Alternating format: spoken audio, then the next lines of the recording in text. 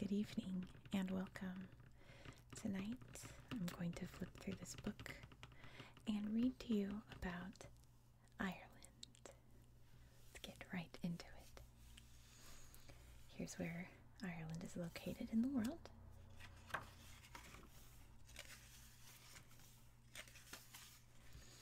Here we go. 40 Shades of Green. The lush green fields of Ireland have earned the country a famous nickname, the Emerald Isle. The fertile landscape results from a combination of Ireland's rich limestone soils and its wet but mild climate. Ireland is located on an island at the most westerly edge of Europe. The island is as far north as Labrador in Canada, but it is much less chilly. Ireland enjoys mild weather thanks to the Gulf Stream, a warming ocean current that arrives from Florida. The water around the island is warm enough to keep away icy weather systems from the Arctic. Ireland has not always had a mild climate. During the last ice age, about 15,000 years ago, the country was covered in glaciers, sheets of ice that gouged out many of the landscape's more rugged features. An island called Ireland. There's often confusion about the land of Ireland because the name can apply to more than one place and country. The island of Ireland is the second largest island in Europe.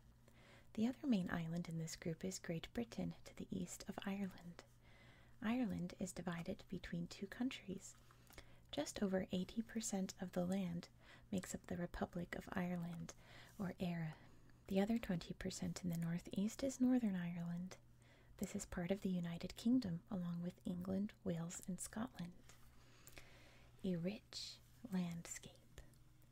The landscape of the Republic of Ireland is made up of lowland areas, which are mainly fields surrounded by rocky hills and mountains. In many places, the land is covered by damp peat bogs. The bogs and drier soils cover a bedrock of limestone.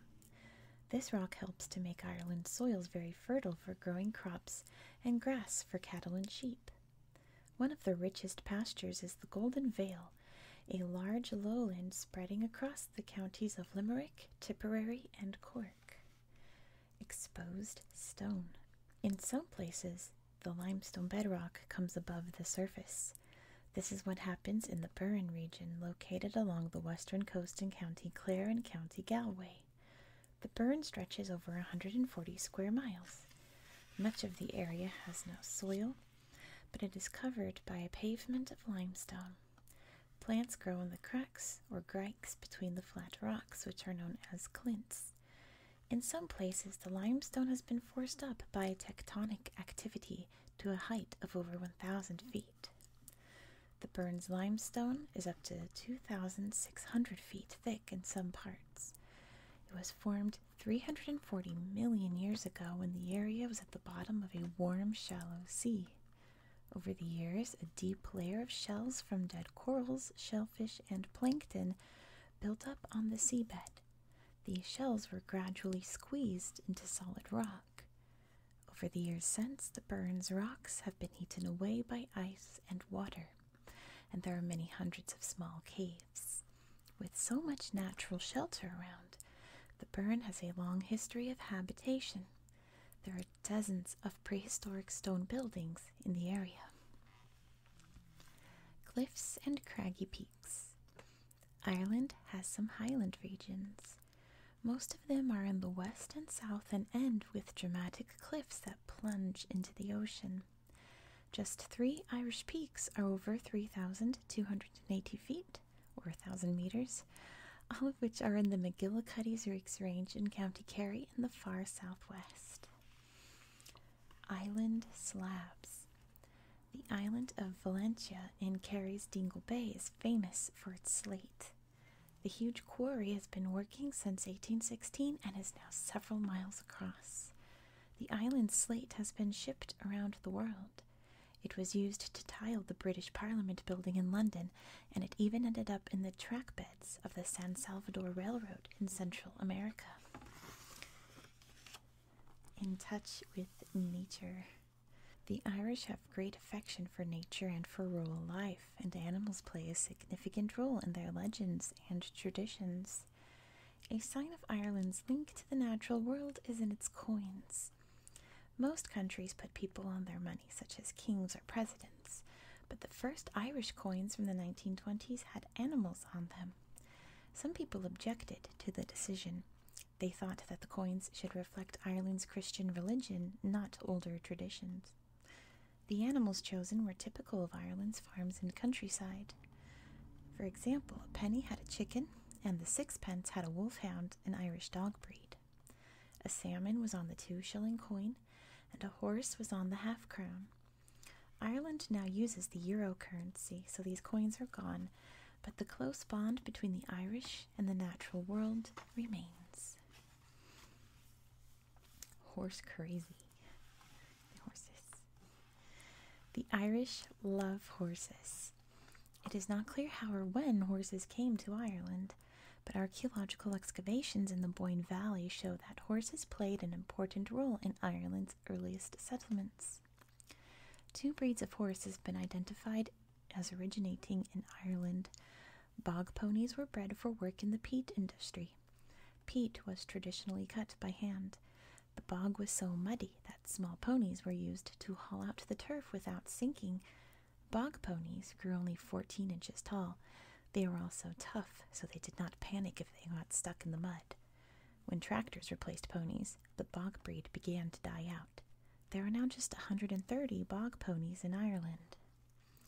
The second Irish breed is the Connemara pony from the west of County Galway. The history of this breed dates back to the time of the Celts, 2,400 years ago. It is larger than a bog pony, standing about 52 inches tall. Some are as tall as 58 inches. The Connemara pony is strong and sturdy with powerful back legs. It is a mixture of Andalusian and Arabian breeds. The ponies are tough but agile. They run and jump well, even over rough ground. The ponies get this ability from being bred for the rocky landscape of Connemara. The Connemara pony is the world's leading sports pony and is now bred all over the world for events such as show jumping. Missing animals. Because Ireland has been an island for thousands of years, the country does not have many animals. The surrounding sea has stopped species that are common elsewhere from reaching the land. For example, Ireland is famous for having no snakes. It has only two types of wild mouse, far fewer than most places. The country also has just three types of amphibian the common frog, the smooth newt, and the natterjack toad. This, this toad is found only in a few locations in County Kerry. It is more common in southern Europe and was possibly introduced to Ireland by humans in the last thousand years or so. Although modern Ireland has few unusual animals, that was not always the case. In 1993, the footprints of an early land animal called a tetrapod were found in rocks on Valentia Island. Prints are 365 million years old and were made when the rock was still mud. Giant hound. There are several Irish breeds of dog, including the red setter, the water spaniel, and the Kerry blue terrier. The giant of them all is the Irish wolfhound. The wolfhound is one of the tallest dog breeds in the world, growing up to almost three feet in height. Despite the dog's size and strength, the wolfhound has a peaceful and quiet nature. Wolfhounds have excellent vision. They were bred to chase foxes over open ground. Wolfhounds make good pets because they are quiet indoors. However, they do require a lot of space, exercise, and food. The wolfhound appears to be a very old breed. There is a record of it in Rome in 391 CE when Quintus Aurelius, the city's chief administrator, received seven wolfhounds as a gift. As with other animals, the wolfhound plays a part in many Irish legends. Comings and goings. Ireland's rich history began sometime after 8000 BCE, when Stone Age people arrived from Spain, France, and the Middle East. They brought stone tools and they also knew how to farm crops for food. One of the world's oldest field systems still lies beneath a blanket of peat in County Mayo. In about 2500 BCE, copper and gold were introduced. Irish craftsmen made fine gold collars, necklaces, and earrings. The arrival of the Iron Age saw the emergence of the Celts. They are often referred to as the Invisible People because they left no written records. The Celts paved the way for a last wave of Celts known as the Gaels. They arrived in Ireland in about 700 BCE. Their language may have started the Irish or Gaelic language that still exists today. I'm going to read this part because I think it's neat. Archaeologists think that people reached Ireland in about 6000 BCE. They lived on the coast and beside rivers where they could fish, hunt, and gather fruits. In about 3500 BCE, people began to use stone axes to clear forest for pastures and farmland. Some experts suggest that battles described between different groups in an 11th century account called the Book of Invasions may reflect a conflict between Ireland's original hunter gatherers and a new farming people. Archaeologists describe these new arrivals as Neolithic, meaning the New Stone Age. Neolithic people built stone monuments or cairns as tombs and for ceremonies. In about 1800 BCE, metal workers came to Ireland, attracted by its supply of copper. They mixed copper from Ireland with tin from Spain to make bronze and beat Irish gold into moon shaped necklaces and other ornaments. When the Celtic people arrived in 700 BCE, according to legend, they could not conquer the Tuatha de Danann, people said to make magical metal objects, so the Celts gave the Tuatha the underworld. The Tuatha became the fairy people of Irish legend. Superstitious warriors. Some experts believe that a powerful force of Celts, originally from Central Europe, arrived in Ireland in 700 BCE, probably via Spain. The Celts knew how to work iron. Their iron weapons were superior to the bronze arms of the people then living in Ireland. Celtic or Gaelic culture became dominant throughout the island. The earlier people were not wiped out completely, however.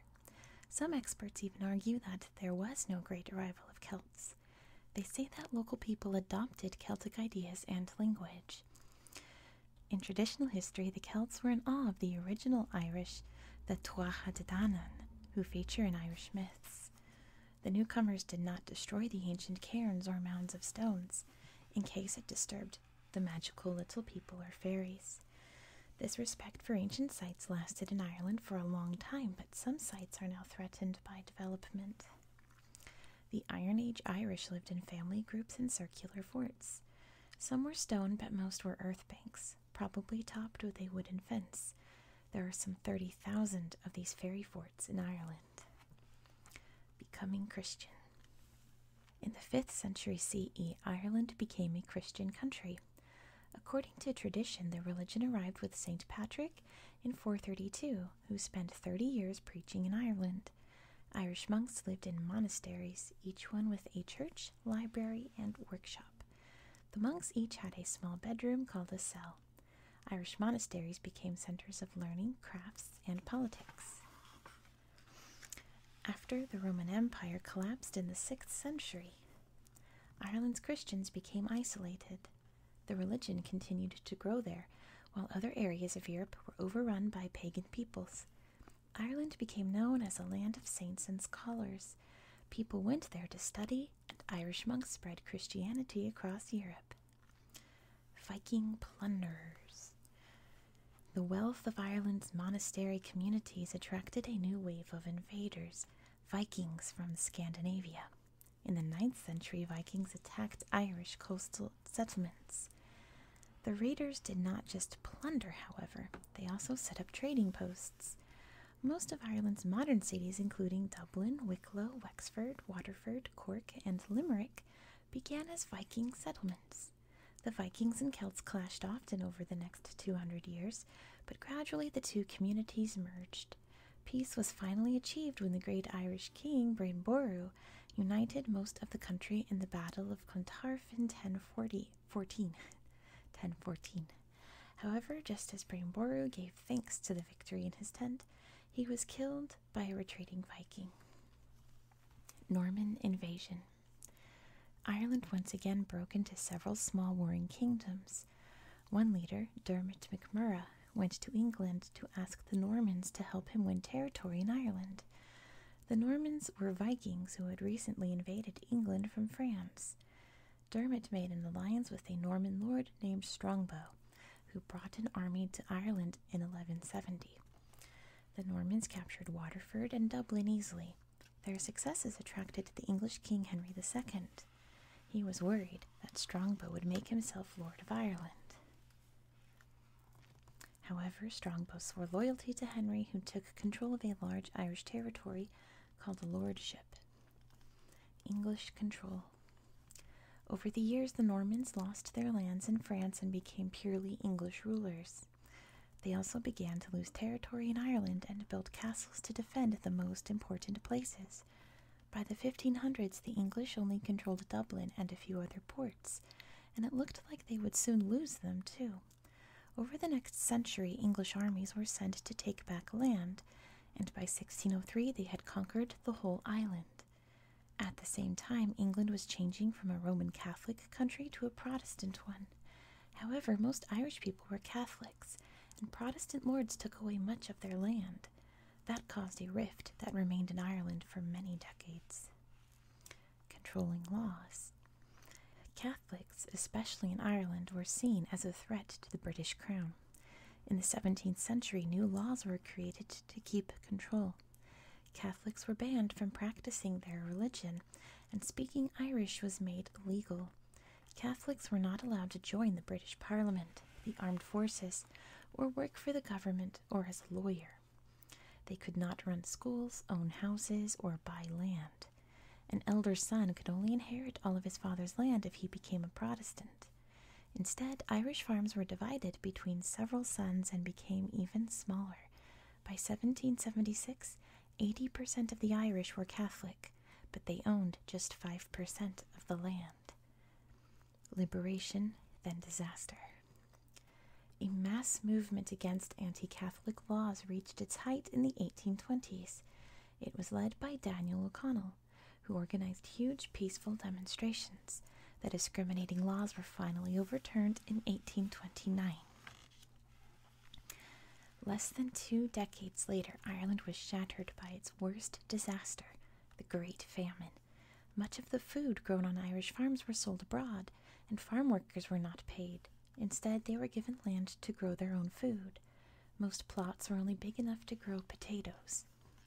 In 1846, a fungus called potato blight killed most of the crop. Families went hungry. By 1851, a million people had died of starvation or disease. A further million fled to Britain and the Americas. The journey was wretched. The ships were overcrowded and full of disease. On some trips, as many as half the passengers died. People called the vessels coffin ships. Republican Rising. Despite small improvements in the way Ireland was ruled from London, the calls for Ireland to govern itself continued to grow. The Irish Republican Brotherhood, or IRB, became influential. The IRB were also known as the Fenians, a name from the Fianna, a band of heroes in Irish legends. The IRB were involved in many violent revolts, the largest being the Easter Rising of 1916. On Easter Monday that year, armed Fenians occupied several buildings in Dublin. British troops ended the rising in a few days, but their violence increased support for a complete break with Britain. In 1919, the Irish Republican Army, or the IRA, was formed. A bloody guerrilla war began across the country between the IRA and the British authorities. In 1921, the two sides called a truce and peace talks began. The Irish Free State. A treaty created the Irish Free State in 1922. The new country was ruled from Dublin but was still part of the British Empire. Irish citizens had to swear loyalty to the British king. In addition, the state only included 26 of the 32 Irish counties. Six counties in the northeast were home to mainly Protestant populations. They remained under British rule as the province of Northern Ireland. Over the next 25 years, the Irish Free State slowly loosened its ties with Britain. It stayed neutral during World War II. In 1948, it made a total break with Britain and became a republic. The Republic of Ireland, or Éire in Irish, remained a nation of farmers with little industry. Many of its people still had to leave to find work abroad. However, rapid change in the 1990s improved the economy. The Irish are now the fifth wealthiest people on earth. Tradition and change. Ireland's mix of traditions and culture is celebrated in many stories and poems. Thanks to an economic boom in recent years, however, the country is changing quickly. Traditional practices have been replaced by modern attitudes and industry. Despite the rapid change, land, religion, and politics are still vital to much of life in Ireland. The Irish have a strong bond with their landscape. That bond shapes their attitude about preserving ancient sites, often out of belief that destroying them would bring bad luck. As a result, Irish culture is based on history. The past is very much part of the present, from Neolithic tombs to monasteries and castles. People also remember the long history of Irish rebellion. A nation of storytellers. It's Gulliver. Irish people have always loved stories. This tradition is a long one. Celtic bards were poets, storytellers, priests, and lawyers mixed into one. It was their job to record the history of Ireland. They recited and sang stories while playing the lyre or harp. Bards were very powerful. Everyone had to be respectful toward them. They could spread bad gossip about a person otherwise. Bards had disappeared by the 1600s, but the Irish have continued their love affair with stories. Four Irish writers have won a Nobel Prize for Literature W.B. Yeats, George Bernard Shaw, Samuel Beckett, and Seamus Heaney. Stories written by other Irish authors are also famous, such as Dracula by Bram Stoker and Gulliver's Travels by Jonathan Swift. James Joyce wrote several famous, although hard to read, novels, including Ulysses. And I have to point out, this is Eoin Colfer, who I had the great pleasure of meeting once, and he was so charming, and we took the time to chat, and uh, he's just a great person. He wrote the Artemis Fowl books and many others. He's a great guy. Irish or English. Much of Irish literature in the past was written in the Irish or Gaelic language. Gaelic is the oldest written script in Europe after Greek and Latin. Nowadays, however, almost all of Irish writing is in English. About 14% of the population can read Irish, and only 30,000 people, less than 1% of the population, speak Irish as a first language. The version of English spoken in Ireland, however, is unique. If you listen to Irish people speak, you might think that only the accent and some words are different. In fact, the whole construction of the language is different. Linguists call the Irish dialect Hiberno English. It is unique because Irish people still use Irish grammar to construct English sentences. For example, there is no word for yes or no in Irish. You can test this by asking an Irish person, Are you Irish? In Irish, they will answer, I am, rather than yes. In English, some Irish people will also say, I am. Loaning words. The Irish language has given many words to English. These are called loan words, but they're here to stay. Whiskey may be the most famous.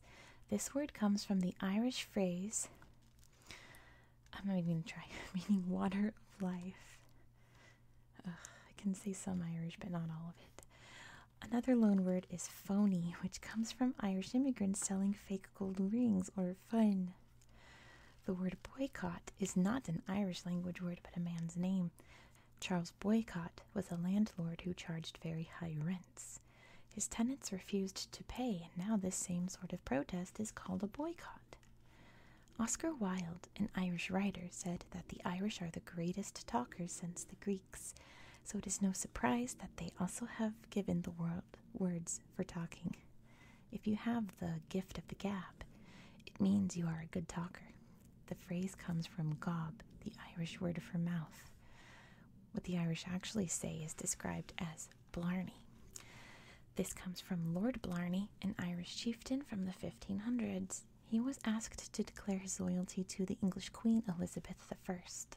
He gave such a long, complicated answer that nobody could work out whether he was for or against her. Many tourists kiss the Blarney Stone at the Earl's Castle in the hope of gaining the gift of the gab. Making music. Irish music has its roots in ancient Celtic culture. Uh, or Old Style Irish songs are traditionally sung by several people without musical instruments. Other types of Irish music are meant for dancing. They are played with pipes, harps, and other stringed instruments, such as banjos and violins. Dancers, generally in sets of four couples, dance a series of steps. Each set of steps has a name, such as Lady's Chain or the High Gates. Each dance is suited to a type of tune, such as reels, jigs, and polkas. There is a pause between each dance for the dancers to catch their breath. Irish step dancing is more of a solo dance form, although a form performed by large groups of dancers was popularized around the world by the success of the 1990s Broadway musicals Riverdance and Lord of the Dance. That's so true. If you were alive in the 90s, you couldn't escape Riverdance. Modern rockers. Traditional Irish music has a large following around the world through recording artists such as the Chieftains. But influence can be heard in bluegrass and other American root roots, roots music styles. However, the country's musicians have also been influenced by musical styles from abroad. In the 1970s, Ireland produced its own brand of pop and rock music with Van Morrison and Thin Lizzy. The biggest Irish musical success is U2, a 1980s rock band, which continues to sell millions of records around the world. The most successful Irish bands in recent times are the Corrs and Westlife. The Corrs are awesome. Check them amazing. Westlife is okay. The U2 singer Bono is also an international charity campaigner, along with Bob Geldof, another Irish born musician. Geldof had some musical success in the early 1980s, but is now more famous for his work organizing the global charity concerts Live Aid and Live 8. And there's Enya up here, a queen. Sports and luck. Like people the world over, the Irish are big sports fans. They have top national teams in rugby and soccer and have produced several world class golfers.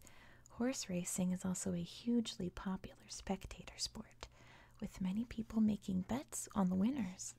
Horses bred in Ireland win races throughout the world. High speed games. There are also a number of sports played only in Ireland. Hurling is the oldest and one of the most popular ones. It has been played since the start of recorded history in Ireland 1500 years ago. A few fragments of a document from about 400 CE are thought to contain some of the rules of hurling. The game may be the world's fastest field sport. The ball can travel up to 100 miles per hour.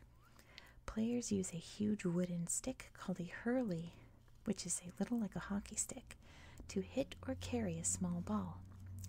They can also kick the ball or slap it with their open hand. Players can catch the ball and carry it for up to four steps. A player who wants to carry the ball farther has to bounce or balance the ball on the end of the stick. Players score by hitting the ball between H shaped goalposts at the end of the field. A, a ball over the crossbar scores one point. Under the crossbar into the net, guarded by a goalkeeper, scores them three points. The women's equivalent of hurling is called camogie. Camogie. Its rules are identical to hurling, except women can also score with their hands. Hurling is an amateur sport. No one gets paid for playing hurling, even though the All Ireland Senior Hurling Final is watched in Dublin by more than 70,000 fans. Changing fortunes. With few natural resources, the Irish economy was dominated by agriculture for most of the country's history. Even after World War II, when many countries were busy building factories, the Irish did not. Being an island made it expensive to import the raw materials needed for large scale industry and even more expensive to export finished products.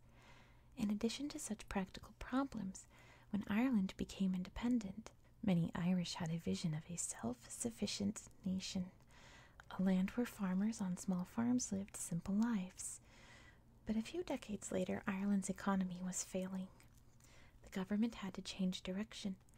Its plan worked, and today Ireland is one of the wealthiest countries in the world.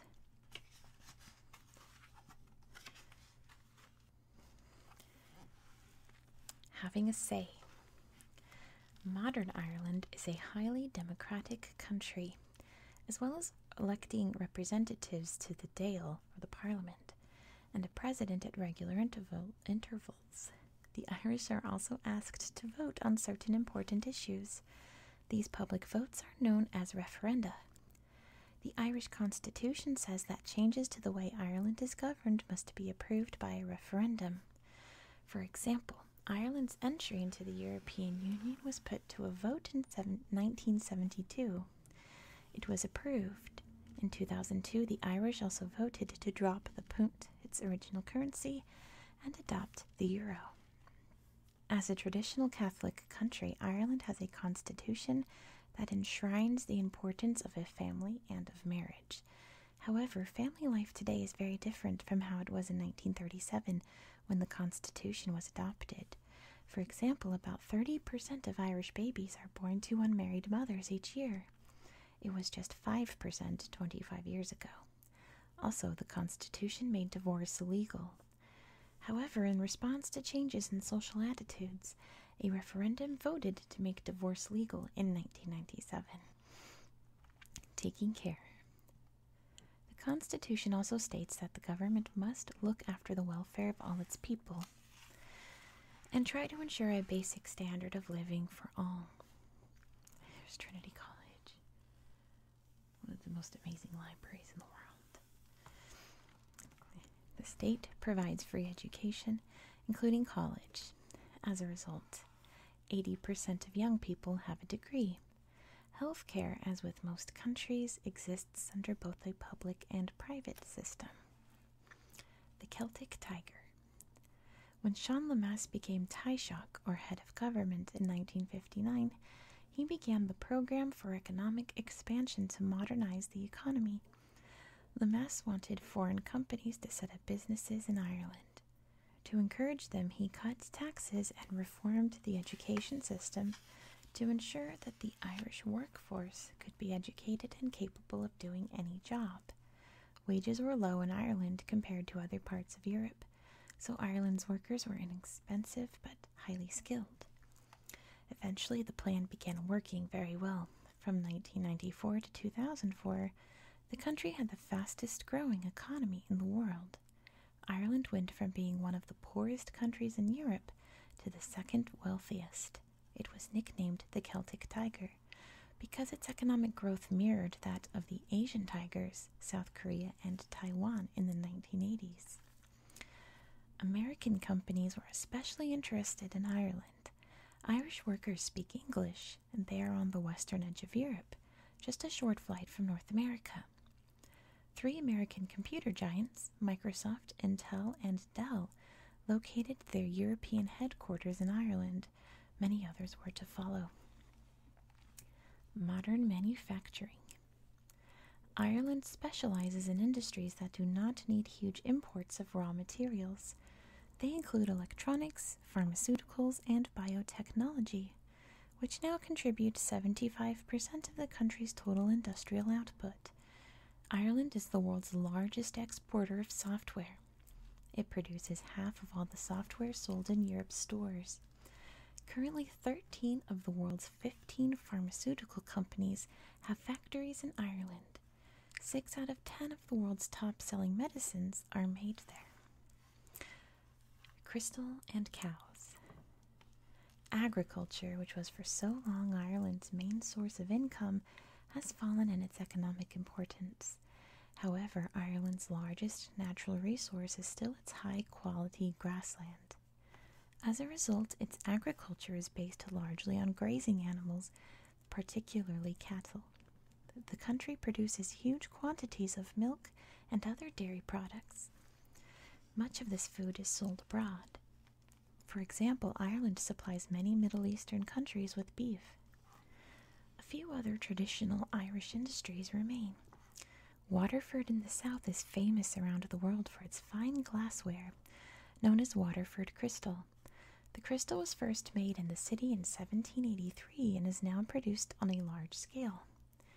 Crystal items are made by hand and they are found in several famous locations. The chandeliers in England's Windsor Castle are made from Waterford glass, as is the New Year's Eve ball that is lowered each year in New York City's Times Square. In addition, the winners of the nine annual Masters Series tennis tournaments are awarded with trophies cut from Waterford crystal.